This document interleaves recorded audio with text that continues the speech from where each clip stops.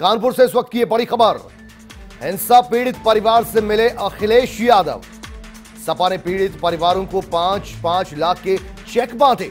अखिलेश ने बीजेपी पर निशाना भी साधा। कहा, बीजेपी सिर्फ़ देश को बांटना चाहती है।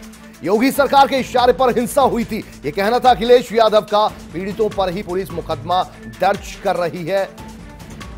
बीसी सभी विश्वविद्यालयों को एक रंग में रंगना चाहते हैं। अटल घाट पर पीएम के गिरने पर भी अखिलेश यादव ने चुटकी ली है। कहा, सरकार को पता नहीं गंगा पर कार्य क्या करना है।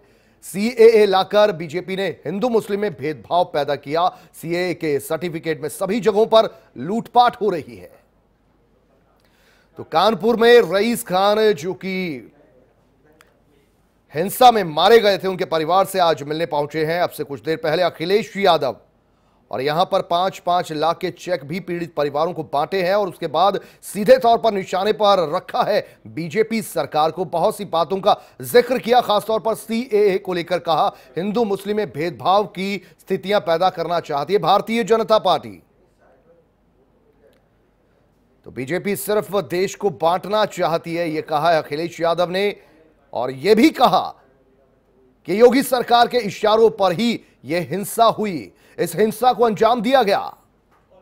हिंसा पीड़ित परिवार से मिले अखिलेश यादव। सपा ने पीड़ित परिवारों को पाँच पाँच लाख के चेक भी बांटे। तो लगातार आपको बता दें, जितने भी हिंसा में पीड़ित परिवार हैं, जिनके घर से कोई ना कोई शख्स मरा है, उनसे मिलने की कोशिश में समाजवादी पार्टी अध्यक्ष अखिलेश यादव ढांढस बंधाते हुए परिवार कानपुर से इस वक्त हमारे संवाददाता नीरज अवस्थी फ़ोन लाइन पर मौजूद है। नीरज, अखिलेश यादव यहाँ पहुँचे थे पीड़ित परिवार को मिलने के लिए। पाँच पाँच लाख के चेक भी बांटे, लेकिन निशाने पर रखा योगी सरकार को यहाँ तक कह डाला कि हिंसा भी योगी सरकार के इशारे पर ही हुई।